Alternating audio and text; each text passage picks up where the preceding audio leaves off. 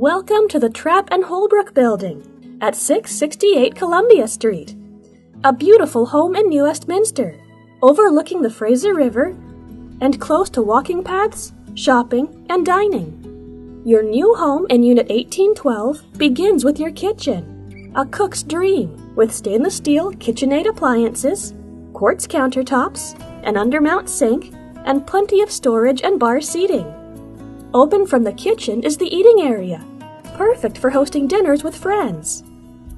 The open concept continues into the living room. Take in an evening movie while relaxing on the sofa.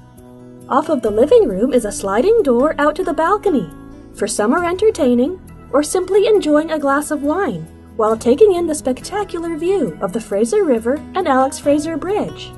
Back inside, the left side of the home has the master bedroom a personal oasis at the end of the day, with large windows overlooking the river, his and her closets, and a private master ensuite bathroom with double vanity and walk-in glass shower with rainfall showerhead.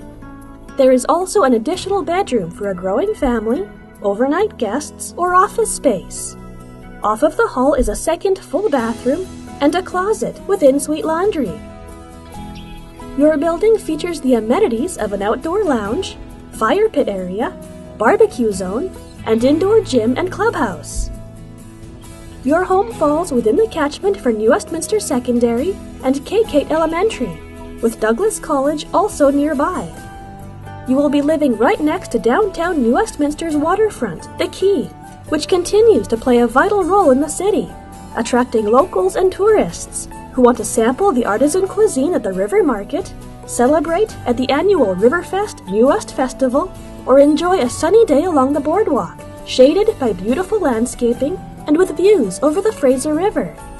Head into downtown New Westminster and explore Columbia Street, the city's main drag, and the new Plaza 88, with a broad mix of stores, restaurants, businesses, and the New Westminster SkyTrain station, giving you easy access into Burnaby and downtown Vancouver.